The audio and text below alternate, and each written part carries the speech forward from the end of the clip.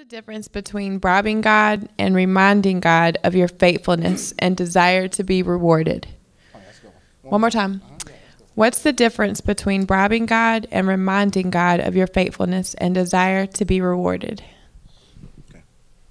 Um, there's a big difference between those two. I think people get it construed with, you know, uh, when I pray to God, praying to a God who's omniscient, it's pointless to remind him because he already knows. Um, it's pointless for us to go out there and say, God, you know, I'm still waiting. You know, when you pray to God, there's different levels to it. When, when you're feeling low about whether or not God has heard you, the Bible says, come with thanksgiving. When you say, God, uh, you know, I'm believing for a car, the next time you pray to God, don't say, God, I'm believing for a car. Say, God, I'm thankful for it when you're going to bring that car in your timing. Lord, I'm just thankful. Like for me, I'm waiting on a car, right? And God told me while you walk to Walmart to get the car from your mom to go to work, be thankful about what you do have. Do not have to worry. God's going to supply all your needs according to his riches and glory, but his riches and glory is predicated on his timing for you.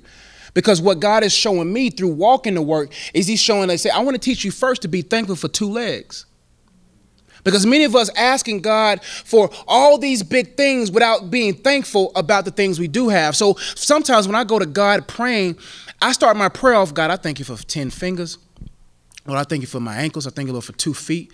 Lord, I'm thankful for me, me being able to walk. God, I'm thankful for my lungs. By the time you start being thankful for God in little things, you begin to be like, man, why am I even bo- uh, boring God with a bunch of requests when I can just entertain him with rejoicing? Right? So there's three levels of prayer. There's uh oh man, I forgot them that quick. Uh, the first R is uh, uh, repentance. Um, no, no, no. Number one is rejoice. Number two is repent, and number three is request. This is the way I pray. I'm not trying to say, you know, you follow these three R's, you can come up with three P's, three O's, whatever you want to do. But how I pray is I say, God, first, before I even ask Him for anything, before I even confess my sins, I start rejoicing. I started thanking God. God, you know what? I thank you for life, man. Yo, God, you woke me up this morning. The more you start engaging into rejoicing, you begin to find out, man, how good you begin to see how good God is or how good God has been to you, that you begin to forget about the things you don't have because you're so in awe of what He's graced you to have. Because while I was walking to work the other day, God was like, Don't you know there's someone that's thankful for two legs you're walking with now? There's people right now in wheelchairs. Man, I had a person come into my. Every time they come in a wheelchair, they got a smile on their face. I'm like, there's people who are crippled who's more thankful than people who have two legs. And that's so sad because we have more to be thankful for. There's people in Africa who who is wish that they can have the bare minimum you have right now. So, with that being said, I'm not trying to bribe God with good deeds to make sure He can bring my Bentley in time. I'm not trying to bribe God like she be trying to bribe it for for uh, what you call that thing? Uh, uh, uh, uh, uh what that car you want? Uh, that thing. I never bribe him. You ain't trying to bribe him, but she was talking about that. What was that thing for? What was that thing? What's it called? A Lambo. The Lambo. Like you know what I'm saying? We don't got to sit there and be like, I got all these. I'm gonna work and I'm gonna do this. I'm gonna bribe God and make God bring it quicker. No, I'm saying God, your season is gonna come, and that's it. Listen, with God, if God hasn't moved now, he has a reason. He has a reason greater than your request. Because you don't think God can't bring you a car, God can't bring your wife, God can't bring you your husband, God can't bring you the things you ask for. God is sitting there saying, the more you ask proves that you probably don't really trust me. But if you could ask me one time and let it go, that shows that you are in love with him. That you say, God, I know you, God, you got me. Now that's a day to day fight. Because you're going to always face, man, she just got blessed with a new car. Dang, God still got to take the transit. You know? You begin to look at, man, God, why is not my time now? God says, I'm not responsible for everybody's progression. People progress on their own accord. There's many people who got, you know, ever seen people who got happy about a car and now they got to pay that car off for 15, 20 years? You see what I'm saying? That's a loan. That's a long loan. That's a big loan right there. That's a Lambo. That's a Lambo loan right there. shoot, that's like, anyway. But the point of the matter is go to God with rejoicing, then go to God repenting. And then by the time you finish rejoicing and repenting, you probably have few things to request from Him because you're so thankful for Him being God in your life. And make sure I answer that question right. What is the difference between bribing God and reminding God of your faithfulness? You don't got to remind God of your faithfulness, man. Your faithfulness will speak for itself. Because God can care less about how faithful you are indeed. He's concerned about how faithful your heart is to Him. Because many people are faithful to God with the wrong heart. There's people who pay their tithes, go to church all the time, they do all the ritualistic duties. And the Bible called them Pharisees and scribes and hypocrites. It was the people who, who said, God, I'll wash your feet with my hair. God, I'm remorseful over my sins. God, I don't even deserve to be in your presence. Those people God works on behalf of. So you don't got to worry about reminding God about your faithfulness. Your reward will come. But your reward would not come with a rotten heart. Yeah. Yeah, just real quick. Um, you know, with God, many times promotion comes after appreciation. Um, many times we have to appreciate, like just basically what Josh said, we have to appreciate where we are and what we have before we're able to be promoted to what we want. Um, and when it comes to just asking God over and over again, um, like he said many times, it, it's an indicator of saying that we're not ready for it yet because we may abuse it when we get it. Um, you know, I, I, want a, I want a girl, I want a wife, I want a wife, and then you, you, you get her, and then you may not treat her the way that um, she should be treated because you're not ready. Also, because it comes with timing. God has certain things that He wants to teach us in certain seasons, and we want to bypass certain seasons of our lives.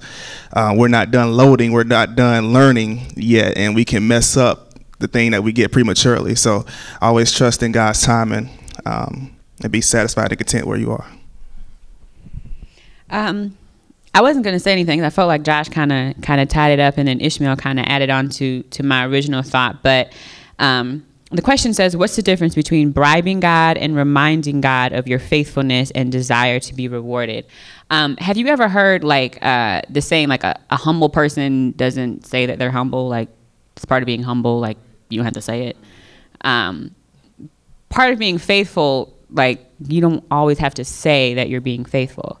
If you feel like you have to remind God, first of all, I, I, I think the, the, the, the part that is on my heart where it says reminding what's the difference between bribing God and reminding God of your faithfulness and desire to be rewarded.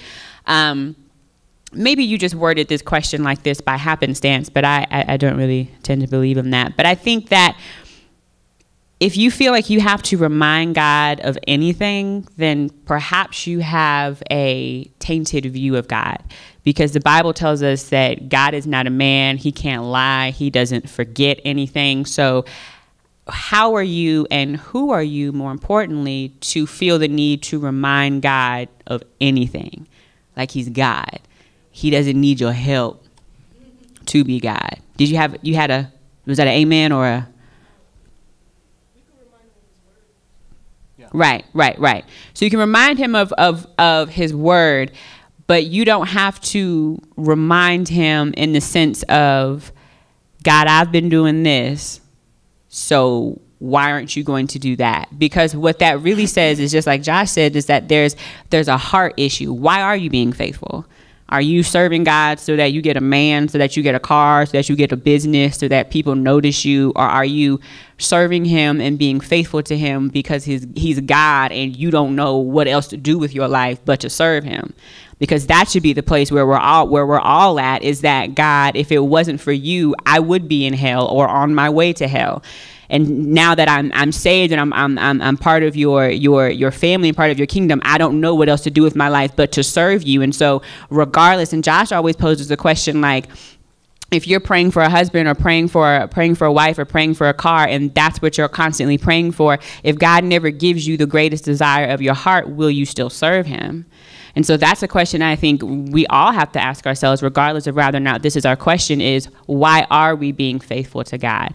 And if we ask ourselves that question and we find out that our faithfulness is rooted in what we want and our selfish desires and our flesh, then that's a point where we can stop and pray, God, fix me, help me, work on me, set me aside, pull, pull me in, into a season where maybe I'm not serving so much. Maybe I stop volunteering and serving because I know that even if I'm doing it, if I'm doing it out of the wrong heart, how can I really serve you correctly? So take a moment and really just ask yourself, why are you being faithful? And I think that'll answer a lot of questions as to as to why you you, you feel the way that you feel. All right, I'm going to share a story that kind of piggybacks off what um, Josh said. And it's funny because the beginning this week, um, the Lord told me that I was going to share the story with somebody. And um, so um, the car that I had before I had now um, had about 300,000 miles on it. It was a Honda. And um, towards the end of 2013, um, the past like like the end three months, like my car broke down on me like five, six times. It got to a point where it wouldn't even start.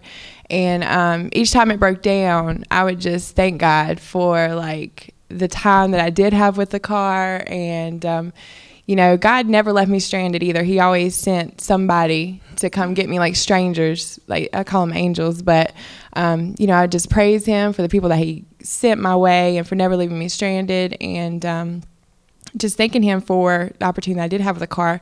Now, mind you, I didn't have the means to get a new car. Um, there was just no way it was going to happen. And I remember one day I was just like, you know what, God, um, if you want me to have a new car, you'll provide it for me. Like, I'm just not going to worry about it. And um, that Christmas, somebody called me and told me to come to their house, and uh, they gave me a stocking. I was going through the stocking, and um, there's a pair of keys in it. And I was like, what is this? They was like, well, go outside and look in the garage. I'm like, okay. And so they opened the garage. There's this brand new car. And I'm like, what in the world is this? They were like, somebody, um, somebody said, anonymous person, I don't know who it is to this day, but they said that during their quiet time, God told them to give me a car. And um, it was 2006. It only had like 50,000 miles on it, which is not bad. But I'm just saying that to say that I was not even expecting. Like I was just had a pure heart, and I was just really thankful for what I did have, and um, just thankful for how God just provided, you know, each day, and um, and He provided. Like you just you just don't hear that happen all the time. So, but I just want to share that. Hope that blesses somebody. You know, God is able, and um, I think sometimes we put Him in a box. Like He's able. You just got to trust Him. So.